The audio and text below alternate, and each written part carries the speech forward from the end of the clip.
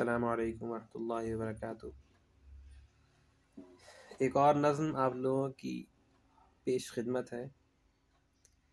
और मुझे बहुत पसंद है ये नज़म, हमारे निसाब में कभी थी ये। और बहुत ही खूबसूरत नज़म है। एक पहाड़ जो घमंड में चूर, एक छोटी सी गिलहरी को अपनी अकड़, अपने बड़ाई के घमंड में आकर के पता नहीं क्या क्या बोल रहा था और फिर जो जवाब देती है गिलहरी, वो सुनकर आपका दिल खुश हो जाएगा। बहुत ही खूबसूरत नज़म है। और मैं आपके सामने इसको पेश कर रहा हूँ। समाज फरमाइए।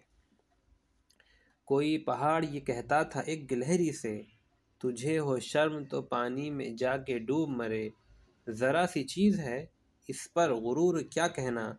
ये अक्ल और ये समझ, ये शूर क्या कहना? खुदा की शान है, नाचीज़ चीज़ चीज़ बन बैठी जो बेशूर हों, यूँ बातमीज़ बन बैठी। तेरी बसात है क्या मेरी शान के आगे? ज़मी है पस्त मेरी आन बान के आगे।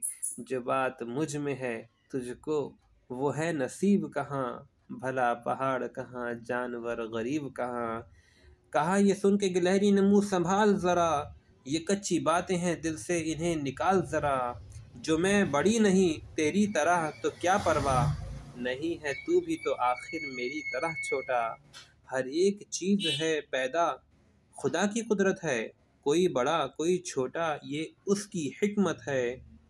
बड़ा जहाँ में तुझको बना दिया उसने, मुझे दरख्त पर चढ़ना सिखा दिया उसने। कदम उठाने की ताकत नहीं, ज़रा तुझ में नरी बड़ाई है, खूबी है, और क्या तुझ में? जो तू बड़ा है तो मुझसा हुनर दिखा मुझको। ये छालियाँ ही ज़रा तोड़ कर दिखा मुझको। नहीं है चीज़ निकम्मी कोई ज़माने में, कोई बड़ा नहीं कुदरत के कारखाने में।